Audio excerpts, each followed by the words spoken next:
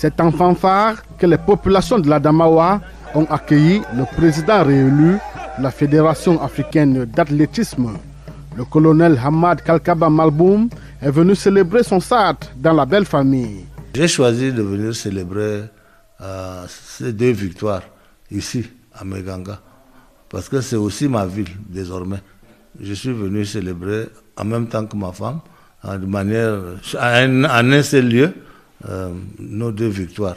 Et je suis venu aussi pour euh, célébrer l'unité du, Cameroun, parce que dans quelques jours, nous allons célébrer le 20 mai.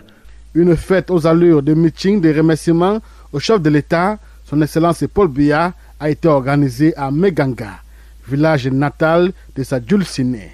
Par cet acte, le colonel Hamad Kalkaba Malboum magnifie le vivre ensemble, puisque par alliance, il est fils de la Damawa et vice-versa, d'où la présence de la forte communauté mouscoum lors des festivités. L'unité, ce n'est pas seulement une composition de quelques parties du Cameroun. C'est d'abord une, affaire de cœur. Comment nous la voyons? Et moi de Koussiri, elle de Meganga, notre destin a été mis ensemble par le fait du mariage. La vraie unité, c'est celle-là aussi. Et je voudrais demander aux jeunes de réfléchir à la façon dont ils vont bâtir l'unité de ce pays. Si le vivre ensemble harmonieux se manifeste par l'acceptation de l'autre avec toutes ses cultures, les mariages intercommunautaires le fortifient.